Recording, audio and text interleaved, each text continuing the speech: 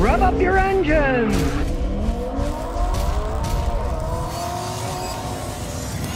Well, Consumer Reports ripped the new electric Chevy Blazer. Good on them. You know, instead of taking all this BS about electric vehicles and pushing them like mad, they actually analyzed one. Basically, they tore it to shreds. And I quote, I couldn't wait to get out of it. They called parts of the interior crazy and unsafe. It's an electric car. You think they'd have electric technology, right? But it has built in Google GM interface, right? They gave up with Android Auto and Apple CarPlay, which, of course, we've been using for ages. I've been using Android Auto for ages because all my stuff's Android, right? Why would you switch to a system when you got one that people are used to using? I mean, it's just these companies. They got rocks for brains. They really do, you know? Oh, no, people don't like what they're using. Now let's give them something else that they're not used to. You know? Kind of stupid. And of course, they got the Ultium battery system GM's working on. Look what they said about that. Despite being built upon the much hyped GM Ultium EV platform, CR found that the vehicle charges more slowly than models already on the market. They also said that the RS for Rally Sport trim is not all that sporty, especially for its $60,000 price point. And remember, they took it off the market as a stop sale for a while because of the problems they were having for these Blazers. They had to stop giving them to people, stop selling them. And this this isn't said by people who hate EVs. Think about it, because here's what they said before. We love the Chevy Bolt and Bolt EUV. They like electric cars. They said this. the Android and the Apple CarPlay. Why would you get rid of something that people like, right? I suppose they cut a deal with Google for it. Who knows what's going on with any of that stuff, right? But the overall picture of it is bleak, to say the least. They'll certainly start selling them again, but will people buy them? And I'll bet it's 60 grand a piece. They won't. Just like the Ford Mustang Mach E, that's really just an electric SUV. Has nothing to do with Mustang. They're not selling well either. Nobody really wants. They're too expensive for what you get. Here we go. The Fiat 500e. What do people say about it? A stylish EV, but at what cost? It doesn't have that much range. It's not that powerful, and it costs way too much money for what you get. Now they've started to sell these things in Australia. They sold them in Europe. Now they're selling them in Australia and they're going to bring them to the United States. Here's what an Australian reviewer says about them. The EV market in Australia is relatively small, and the 500e finds itself in a segment untouched by other car manufacturers. But the starting price is 34.9, so 35 grand for that tiny little car, right? So they got 117 horsepower. And even in Australia, they're saying, why would anybody buy this thing at this price?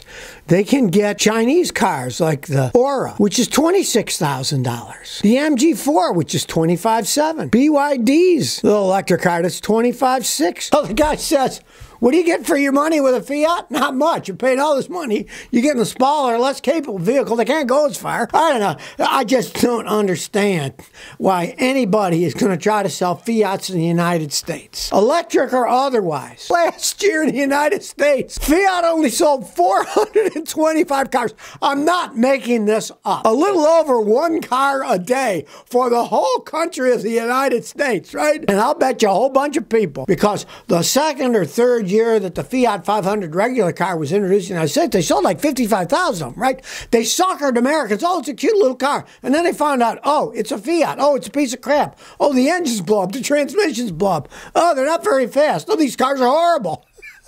Right? And now they're going to try to sell electric versions in the United States. Hey, it's just insane. I guess they just won't give up. They're the type of people that throw good money after bad. Like they gambled most of their money away. Let me tell you something. If you buy a Fiat, you're almost always on the losing end of the car business. Even the price alone, all that money for that stupid little electric car. You know, I could see if it was really cheap. What the heck? Cheap, driving around a little bit, right? But they're expensive for that tiny little car, right? And of course, that doesn't even include destination charges. Things are made in Italy, right? So look at the money you'd have to spend shipping it over. You have to be paying extra on that. By the time you're done, it'd probably be 40 something grand for that stupid little thing. You know the company screws up in the United States. Come on now. If they only sold 400 something cars last year in the whole country, why they even bother selling them is beyond me. Racing news, you know, Danica Patrick, who's the woman that went, went to NASCAR and stuff, right? I don't know. It's funny because the article says the NASCAR driver. She hasn't been a NASCAR driver for a while, and she really wasn't much of a NASCAR driver, anyways.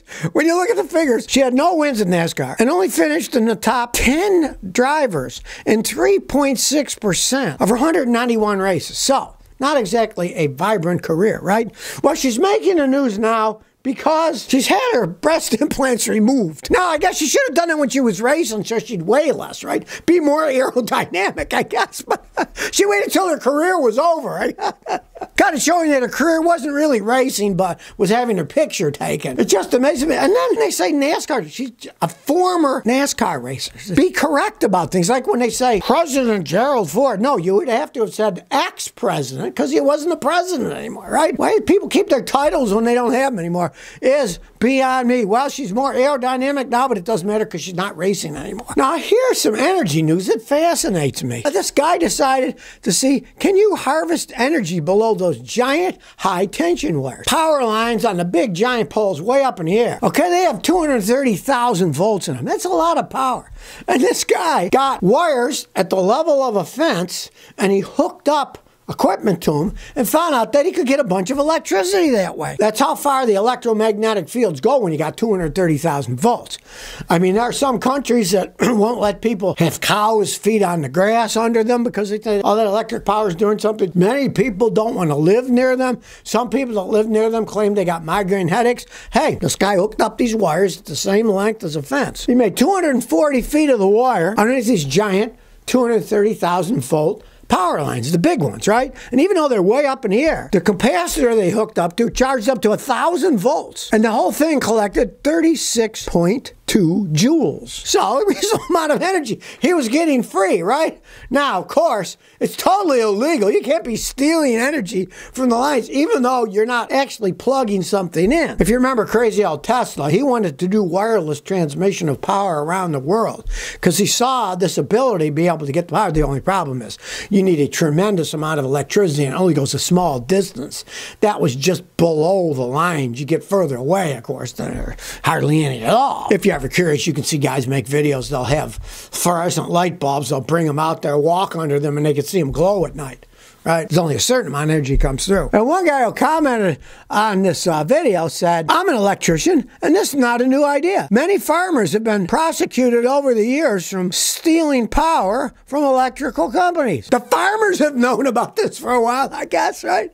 I mean, you, whether you're hooking a wire up to theirs or you're taking it by induction thing, you're still stealing the energy, right? You can't be doing it, right? Maybe just make a fence, looks like a fence, right? But have it hooked up for power. You can't can't. You're still stealing it. Just because you don't plug it into the wire, you're still stealing the power. But it shows you the power that all those thousands of volts create and electromagnetic fields that you can harvest some of that energy if you really wanted to. But hey, let's face the facts. You're stealing the energy, you're breaking the law, and you're going to be doing it with very long pieces of wire. And somebody's going to figure it out really fast with drones today. They fly around and see what people are taking and then come after them. Check it out. It's called the Epic Scout, it's supposed to be be an off road and off grid trailer you can live in with aluminum and composite body, with a steel frame. It has rhino coating on it, and it's bonded together instead of screwed so it won't get loose and rattle all over the place. Now, it's a 2,300 pound trailer, so it's not outrageously heavy.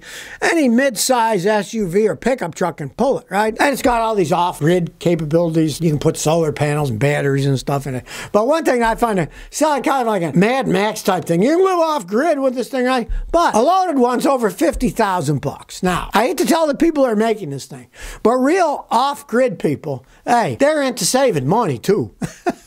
and they're not going to get this little box and pay 50 grand for it, right? They're going to make their own, which wouldn't be that hard to do, right? You can get a regular old trailer bed pretty cheap and then just build it up yourself with whatever you want. I mean, 50 grand for a little box. It's a lightweight trailer, they call it, right? But it always amazes me the price points of these things that people are trying to sell. You know, I mean, if they're going for that kind of a market, it's obviously not going to be a family because it would have to be a pretty small family to fit in that thing. Not all that much room, right? I guess people are always looking for some kind of crazy marketing scheme for something. Uh, and it just amazes me with these trailers. I have people bring me them and I check them out and stuff. And the expense that some of these things, some of these things over $100,000. And you're like, what makes them worth that kind of money. They're just boxes, you know? And the problem is, in the United States these days, a lot of them are really poorly made. I have no idea the quality of this. They claim it's higher, but the ones that people bring me, even the owners say, look at the poor quality of this thing because they don't pay the guys much that make them and they had a shortage of labor like everyone else. They'd grab anybody off the street to put them in. They wouldn't panels would be coming off of them, the bottoms would start being warping, the flooring would be coming off, and the molding on the side would fly off when they're driving down the road. And they'd have cheap Chinese made tires where the owner said I had to throw those away and get some good American tires on it. So uh, it kind of makes me wonder who's actually buying these things. Are they buying them? I mean, I don't know how long this company's been in business. So it seems to me an awful lot of money for a tiny little trailer. So if you never want to miss another one of my new car repair videos, remember to ring that bell.